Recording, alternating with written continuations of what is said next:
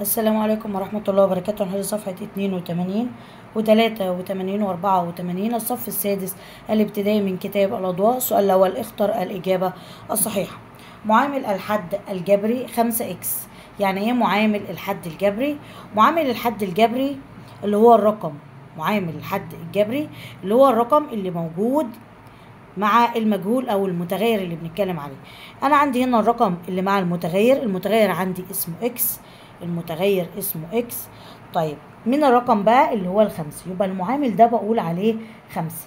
لكن ال x ده بقول عليها متغير. ال x بقول عليها متغير.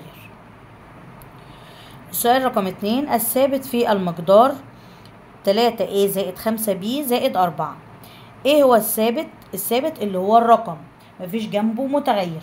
يبقى أنا عندي ده التلاتة اسمها معامل. التلاتة ده اللي هو الرقم. الايه ده اسمه متغير الخمسة ده برضو معامل والبي ده متغير لكن الثابت عندي في المسألة اللي هو الرقم اللي مفيش معاه متغير. يبقى عندي الثابت اللي هو الأربعة. عدد الحدود المكونة للمقدار. كم حد؟ أنا بتكلم عن مقدار جبري. ده كده بقول عليه كله مقدار جبري. ده حد جبري وده حد جبري وده حد. لما أجي أعد أقول واحد اتنين تلاتة يبقى كام حد؟ تلات حدود. لكن الخمسة ده اسمه معامل جبري ال X ده اللي هو المتغير التلاتة ده برضو معامل ال Y ده متغير الثابت عندي اللي هو السبعة. سؤال رقم أربعة الثابت في المقدار من الثابت اللي هو الرقم الثابت اللي هو الرقم مفيش معاه X أو Y يبقى ده الثابت. لكن هنا معامل ده متغير ده معامل ده متغير. ونشوف السؤال رقم اتنين أكمل ما ياتي الثوابت في المقدار. من الثابت؟ اللي هو الرقم. أنا عندي فين الأرقام اللي ثابتة؟ عندي أدي الأربعة مفيش معاها متغير وأدي الاتنين. يبقى عندي أربعة واتنين. طيب هنا معامل وده معامل. ده متغير وده متغير. تعالوا نشوف السؤال. رقم اتنين. المعاملات في المقدار الجبري. المعامل اللي هو مع المتغير. المعامل اللي هو الرقم اللي موجود مع المتغير. أنا عندي هنا تلاتة جنب البي يبقى عندي تلاتة. طيب وعندي تحت الايه تمانية. ده في المقام آه يعني هي أصلها تمن. لأن أنا عندي هنا في المقام في بسط البسط مش موجود حط مكانه واحد. نشوف السؤال رقم ثلاثة الحدود المتشابهة في المقدار. يعني إيه حدود متشابهة؟ لما باجي أجمع أو بطرح لازم يكون الحدين شكل بعض. حدين شكل بعض إزاي؟ يعني يكونوا إكس أو واي يا ده إكس يا ده واي يبقوا الاتنين نفس المتغير. أنا عندي هنا 3 X وعندي هنا 2 على 5 X دول حدود متشابهة آه لكن ده Y مفيش معاه Y وده ثابت أربعة. خلاص يبقى عندي 2 على 5 وعندي كمان عندي اتنين على خمسة X وعندي تلاتة X ونشوف السؤال رقم أربعة. عدد حدود المقدار كام؟ حد نعد. ده اسمه حد وده اسمه حد لكن ده اسمه مقدار جبري. ده كام حد؟ ادي واحد ادي اتنين. يبقى ده كام حد؟ حدين. السؤال رقم خمسة. بيقول لي معامل الحد الجبري يعني إيه المعامل؟ يعني الرقم اللي معاه المتغير الرقم اللي هو السبعة. عدد الحدود لما يقول لي عدد الحدود هنعد. طب أنا ما عنديش أصلا إلا واحد يبقى هو واحد حد واحد. سؤال سبعة المعاملات في المقدار الجبري عايز المعامل اللي هو الرقم. الرقم اللي موجود مع المتغير عندي هنا F جنبها إيه جنبها تلت. طيب وعندي هنا H جنبها إيه جنبها واحد ما بيتكتبش الواحد بالذات ما بيتكتبش. سؤال رقم 8 الثوابت الثوابت اللي هي الأرقام. أنا عندي هنا واحد وتلاتة من عشرة ده رقم لكن ده جنبه متغير يبقى مش ثابت ده رقم الأربعة ده جنبه متغير يبقى برضو ماهوش ثابت. يبقى مين الثابت؟ الأربعة والواحد وتلاتة من عشرة. ونشوف السؤال رقم تسعة.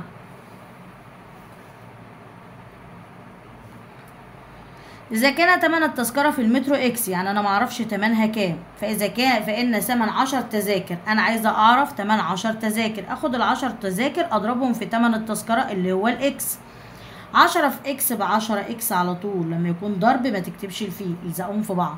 سؤال عشرة إذا كان لديك 18 برتقالة متماثلة وكانت كتلة البرتقالة الواحدة X وعندي 18 واحد هاخد ال 18 اضربها في مين؟ اضربها في ال X. لما يكون عندي الفي شيلها وضمهم على بعض. يديني كام؟ 18 X. الصفحة التانية. سؤال رقم 3 هيحدد عدد الحدود والحدود المتشابهة إن وجدت في كل من المقادير الجبرية الآتية. طبعا ده مقدار جبري. تعال نشوف عدد الحدود بتاعة المقدار الجبري اللي عندي. ده كام حد؟ أدي واحد اتنين. وأقدر أقول عليه حد ده حدود متشابهة. ليه حدود متشابهة؟ ده رقم وده رقم. في X وفي X يبقى ده حدود متشابهة. في Y وفي Y يبقى دي حدود متشابهة. تعال نشوف هنا. ده كام حد؟ أدي واحد أدي اتنين. برضو حدين. هنا كام حد؟ أدي واحد. أدي اتنين أدي تلاتة. يبقى ده تلات حدود. نعد ده كام حد؟ أدي واحد أدي اتنين أدي تلاتة أدي أربعة. يبقى ده أربع حدود. هنا كام حد؟ أدي واحد أدي اتنين أدي تلاتة. بعد بعد فصلة الزائد أو الطرح جمع أو طرح. طيب هنا عايز الحدود المتشابهة. الحدود المتشابهة لما يكون عندي مجهولين أو متغيرين زي بعض زي الاكس مع الاكس والواي مع الواي والزد مع الزد يبقى دي حدود متشابهة. أو أرقام. عندي هنا أرقام يبقى اتنين والتمانية. عندي إيه الحدود المتشابهة؟ مفيش. أنا عندي ده X وده خمسة يبقى لا يوجد.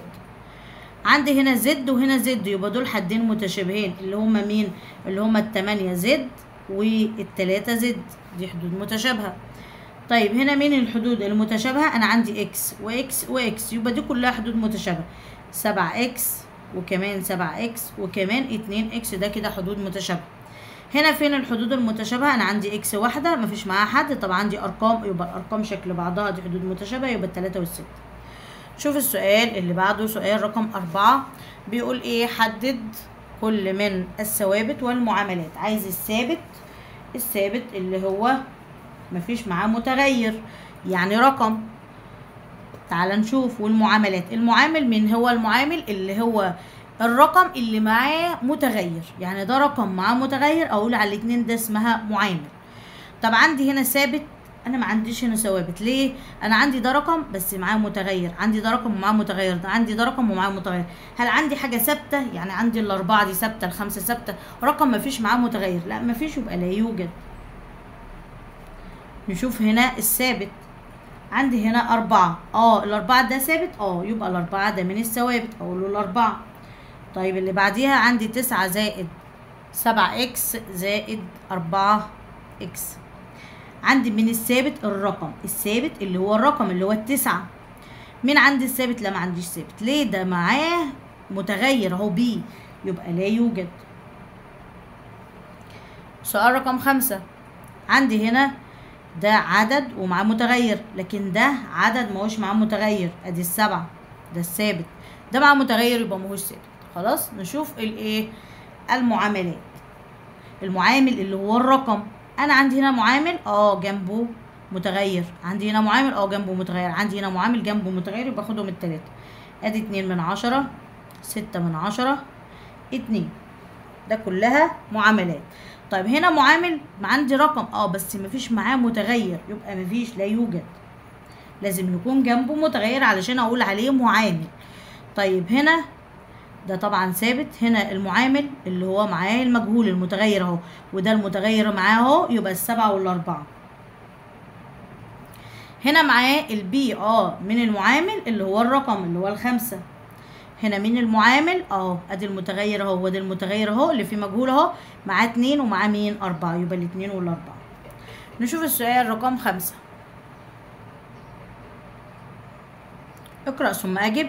تستخدم صالة ألعاب فيديو كل من التذاكر والعملات المعدنية ذات الفئات المختلفة. افترض أن لديك عملات معدنية بفئتين مختلفتين وكان عددهما متساوي عملات فئة العشرة جنيه يعني أنا معايا عملة فئة العشرة وعملة فئة العشرين وحصلت على ميتين وخمسين تذكرة سعر التذكرة الواحدة من فئة الجنيه عبر عن هذا الموقف في صورة مقدار جبري واعتبر إن ال X بقى يعني إحنا هنحط ال X هو حاطط لك المتغير من عنده أهو X. تمثل عدد العملات المعدنية. فين العملات المعدنية؟ اللي هي عشرة وعشرين. يبقى عندي من الثابت ومن المتغير.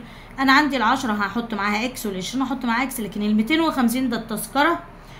ده عدد التذاكر اللي حصلت عليها فطبعا ده الثابت معايا. يبقى الثابت اللي هو الميتين وخمسين. طيب تعالى نكتبها في صورة مقدار جبري. المقدار الجبري لو خدت العملات اللي هي العشرين ومعاها ال x طبعا المتغير وجمعت عليها العشر عملات فئة العشرة ومعاها ال x وجمعت ده كله بقى على الميتين وخمسين تذكرة يبقى مين الثابت عندي ده؟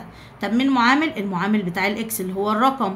وعندي من المعامل؟ اللي هو العشرين مع الرقم. تعالى بقى نشوف الأسئلة اللي هو جايبها. عندي هنا عايز الحدود. ده كام حد؟ أدي الزائد أدي حد.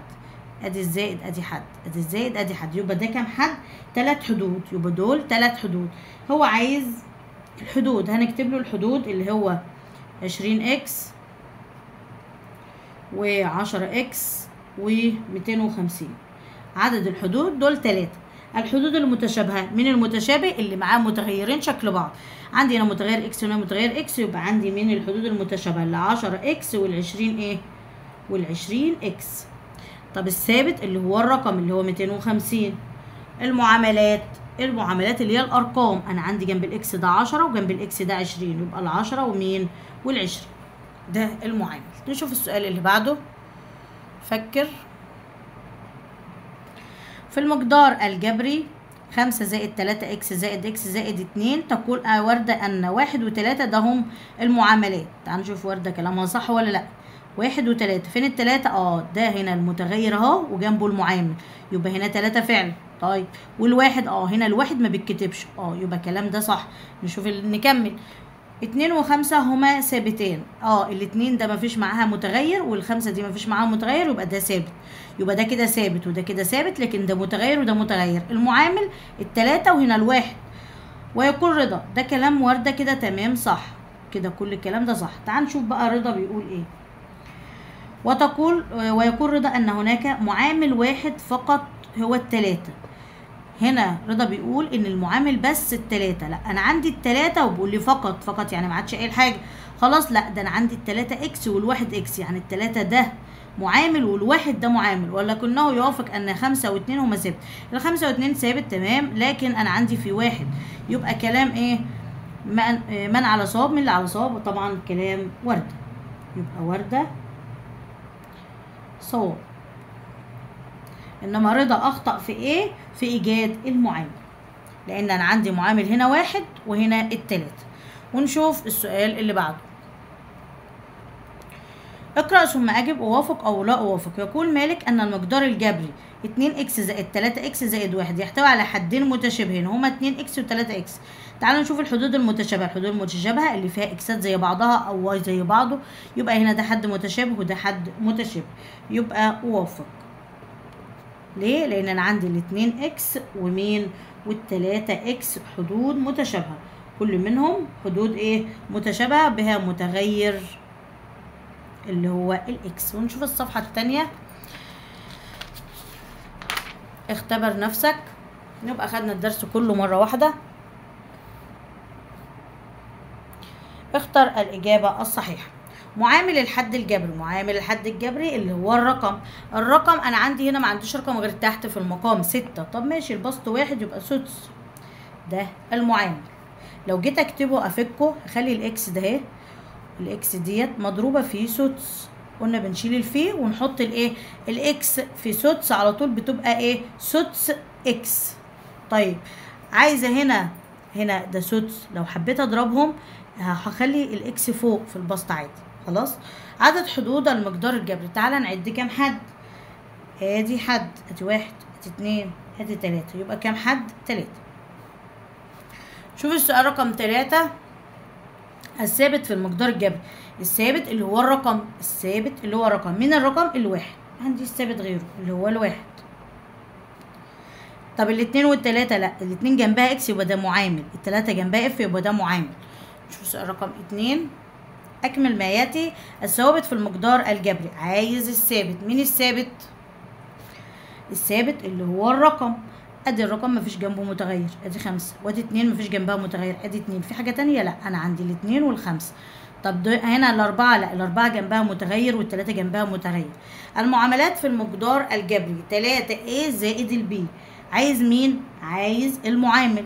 يعني إيه معامل؟ يعني الرقم اللي جنب المتغير. أدي الرقم اللي جنب المتغير. هنا تلاتة. طب وهنا؟ هنا واحد ما بيتكتبش. سؤال تلاتة. الحدود المتشابهة اللي شكل بعض آه أنا عندي هنا خمسة إيه وعندي هنا سبعة إيه بس ده خمسة وده سبعة. لا ما ملناش دعوة. إحنا لينا بالمين؟ بالمتغير اللي هو الرمز. يبقى عندي الحدود المتشابهة اللي هو السبعة a والخمسة a ونشوف السؤال اللي بعده سؤال أربعة. المقدار الجبري الذي يعبر عن العدد y. مضاف إليه سبعة. مضاف يعني إيه؟ مضاف إليه يعني جمع. العدد y أهو بيقول لك ضيف عليه يعني زود عليه سبعة. سؤال رقم خمسة عايز معامل الحد الجبري. يعني إيه معامل الحد الجبري؟ يعني الرقم اللي مع الحد الجبري اللي هو المتغير. إيه الرقم اللي مع الإس؟ ما عنديش حاجة جنبها. آه عندي واحد الواحد ما بيتكتبش. نشوف السؤال اللي بعده سؤال رقم تلاتة. حدد عدد الحدود والحدود المتشابهة للمقادير الجبرية الآتية. عايز عدد الإيه؟ الحدود. تعال نشوف. تعال نعد الحدود الأول أدي واحد أدي اتنين. ده كده حدين. تعال نعد الحدود أدي واحد أدي اتنين. كده اتنين. تعال نعد أدي واحد اتنين تلاتة. يبقى دول تلاتة. نعد هنا أدي واحد أدي اتنين أدي تلاتة أدي أربعة. يبقى ده أربع حدود. تعال بقى نشوف الحدود المتشابهة. إيه الحدود المتشابهة؟ اللي هي شكل بعضها. لا ده عدد. لكن ده عدد ومعاه ده معامل ومعاه متغير.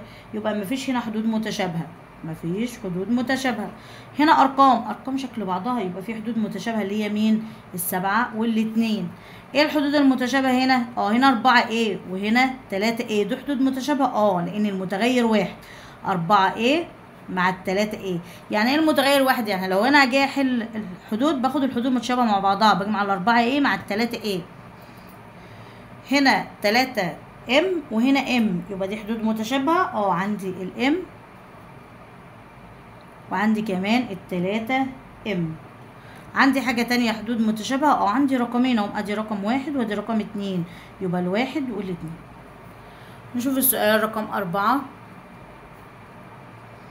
حدد الثوابت والمعاملات للمقادير الجبرية الثابت وإيه؟ المعامل. من الثابت اللي هو الرقم اللي ما فيش معاه متغير ما فيش معاه إكس ولا واي ولا زد ده الثابت. فين الثابت هنا؟ ما فيش معاه حد أهو التلاتة. من الثابت هنا برضو التلاتة. طب في هنا آه في كمان خمسة. من الثابت الخمسة وكمان الستة أدي الستة وأدي الخمسة. من الثابت هنا آه الاتنين دي ثابت والتلاتة ثابت الاتنين أرقام. المعامل من المعامل اللي مع المتغير اللي هو الرقم اللي جنب المجهول المتغير ده. هنا جنبها اتنين يبقى اتنين. هنا جنبها أربعة جنب ال x يبقى أربعة. هنا جنب ال a اتنين. هنا جنب ال b خمسة. هنا جنب الإف تلاتة. هنا طبعا مفيش لا يوجد. كده إحنا خلصنا كل الأسئلة على الدرس. إن شاء الله الفيديو القادم هناخد الدرس الثالث كتابة مقادير جبرية. والسلام عليكم ورحمة الله وبركاته.